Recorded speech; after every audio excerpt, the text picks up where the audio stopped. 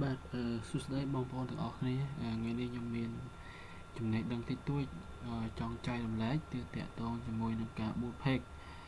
អញ្ចឹងអ្នកទាំងអស់គ្នាអឺ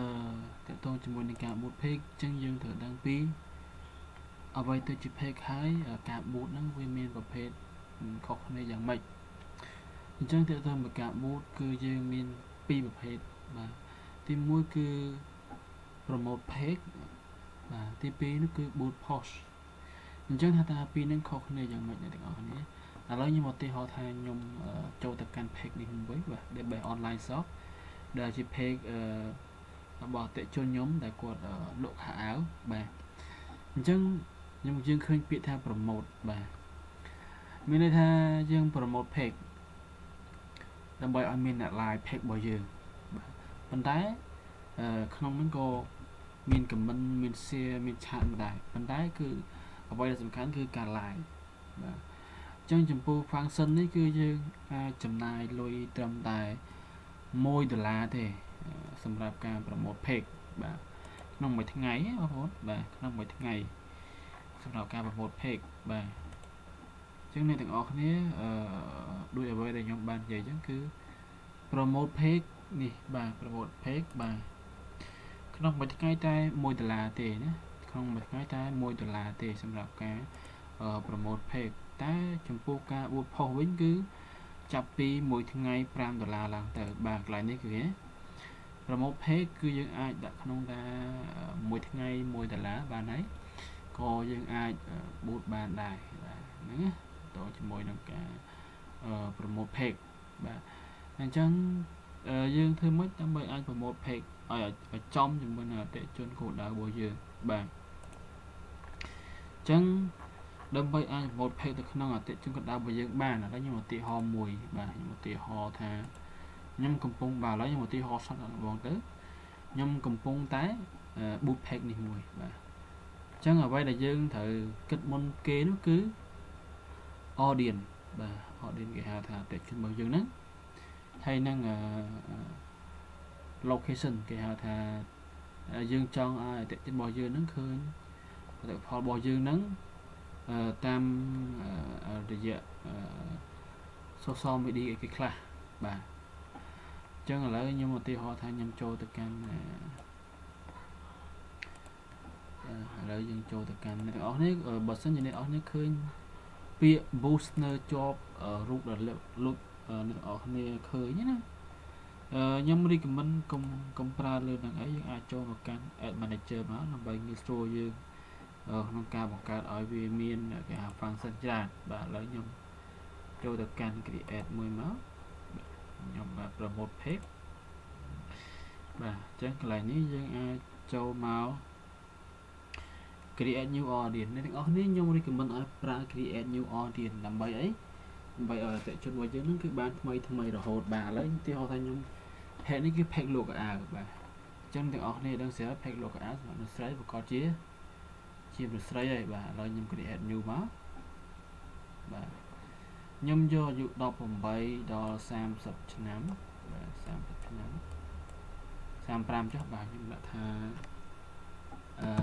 closing shop អ្នកទាំងអស់គ្នាកន្លែងនេះគឺជាឈ្មោះ ad របស់យើងណា ad របស់យើង closing shop online online closing shop location បាទ location ខ្ញុំយក Cambodia ត្រូវហើយកន្លែងនេះបើសិនជាយើងអត់យក Cambodia ទេយើងអាចលុបកន្លែងនេះចោលយើង specific លើខេត្តមួយបានទីហោខេត្តតកែវតកែវអូខេតកែវ Cambodia មានបើយើងដាក់ខេត្តខេត្តណាដែលយើងងាយស្រួលការ search រើតកែវយើងអាចហើ យខ្ញុំដាក់ព្រៃវែងព្រៃវែងជិះមើលវាមានអត់ហើយជាវាអត់ស្គាល់ទេដល់យើងដាក់ Cambodia Cambodia បាទអញ្ចឹងយើងយក Cambodia អញ្ចឹងកន្លែងនេះគឺសំដៅទៅលើអឺអតិជនគោលដៅរបស់យើងគេ detail targeting ហ្នឹងថាតើអតិជនរបស់យើងជាប្រភេទមនុស្សបែបណាបាទខ្ញុំដាក់ reseller ខ្ញុំដាក់ view ទី full skin បាទខ្ញុំដាក់ shopping បាទខ្ញុំដាក់អឺ view shop ខ្ញុំដាក់ online shop មួយទៀតចុះខ្ញុំដាក់ online shop មួយទៀតណា online online shopping បាទអូខេបាទអញ្ចឹងត្រង់ចំណុចនេះគឺវាប្រាប់យើងថាការបូតរបស់យើងនឹងគឺល្អបាទបើសិនជាវាលោតចំកន្លែងខៀវនេះបើបតង កន្លែងក្រហមនេះគឺអត់ល្អទេបាទអញ្ចឹងយើងសិត save បាទអញ្ចឹងយើងបានណាយើងបានទេនេះយើងបានមួយអ្នកនរនេះយើង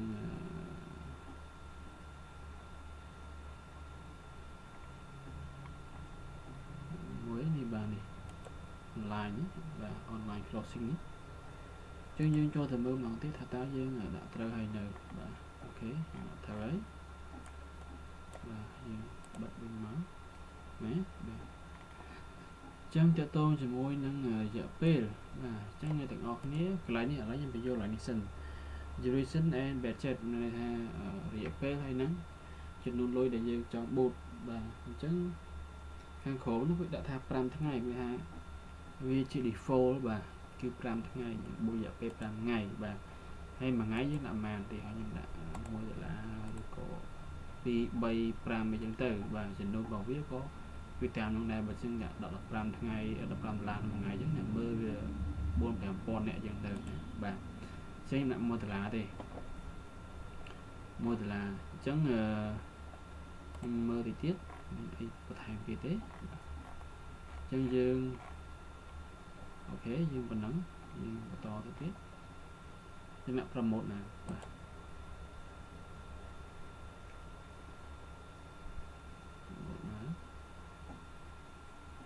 ទាំងអស់គ្នា Facebook នេះគឺជា Facebook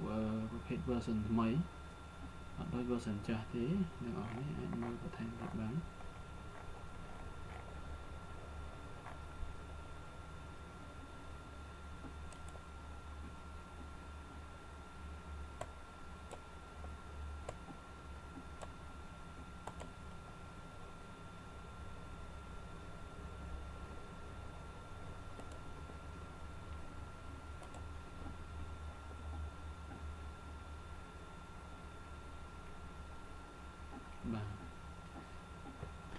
ចឹងអ្នកទាំងអស់គ្នាបាញ់មិញនេះគឺខ្ញុំប្រាប់ពីរបៀបនៃការ promote page តាមរយៈ Facebook ដែលយើងឃើញនៅលើ link នឹងផ្ទាល់ឥឡូវនេះខ្ញុំខ្ញុំប្រាប់ទាំងអស់គ្នាពីរបៀបនៃការ boot post ម្ដងយើងចូលទៅកាន់ Ad Manager មក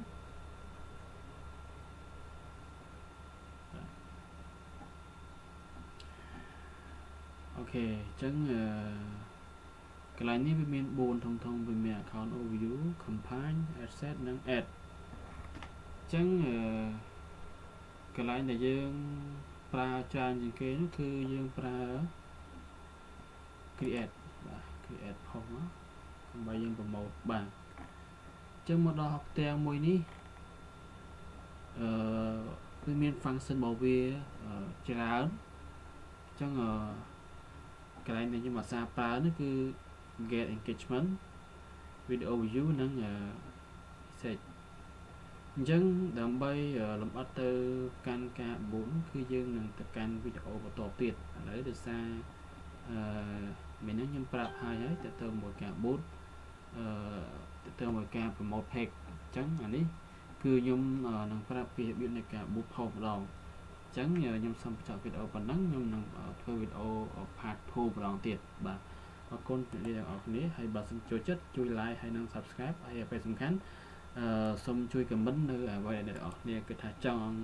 ឲ្យខ្ញុំធ្វើបង្ហាញឬក៏អ្នកទាំងអស់គ្នាឆ្ងល់អត់ទាន់ច្បាស់អ្នកទាំងអស់គ្នាអាច comment នៅក្រោមវីដេអូនោះក៏បានបាទអរគុណច្រើន